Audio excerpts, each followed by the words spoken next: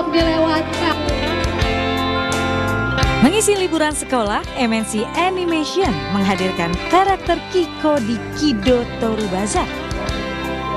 Seru-seruan bareng Kiko ini hadir untuk menyemarakan dan mendukung bazar di Lipo Mall Puri, Jakarta ini. Melalui sosok karakter Kiko yang dihadirkan di stand MNC Animation, mendapatkan sambutan antusias dari anak-anak dan juga orang tua. Tidak hanya dapat berjumpa langsung dengan karakter Kiko, di stand MNC Animation, para anak-anak dapat juga melakukan kegiatan mewarnai gambar karakter Kiko serta mendapatkan souvenir dan merchandise secara gratis.